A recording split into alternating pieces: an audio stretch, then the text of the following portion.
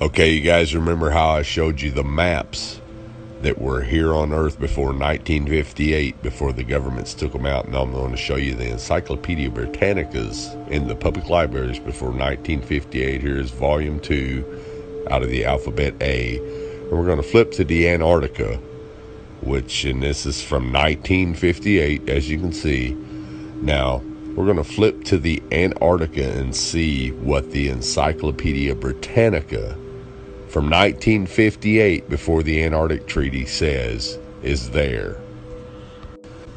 Now, you won't find this in the new encyclopedias because the government's banned them. But what I want you to notice right here is notice how it says the flights proved inland areas to be featureless in character with a dome 13,000 feet high at about latitude 80 degrees south, longitude 90 degrees east. Take a really, really close look at that. Now I'm going to zoom it in for you.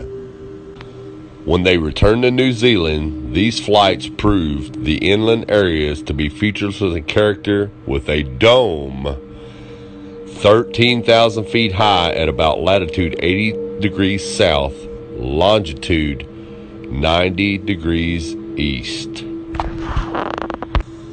Now, if this doesn't make sense to you, let me show you with an image of what a flat earth map would look like. Now, this is what latitude 80 degrees south would look like on a flat earth map. As you can see, the dome comes down closer to you over the wall, which will be about 13,000 feet.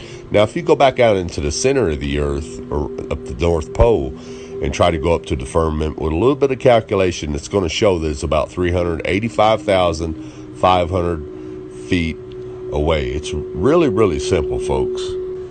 Now, if you're not familiar with any of this at all, at all, and you're just now new to the, all this, it, you could say, well, this guy is crazy. He doesn't know what he's talking about. But, but what you got to ask yourself is, why do all the maps before 1958 show a flat Earth with the ice wall around it and a firmament, a dome.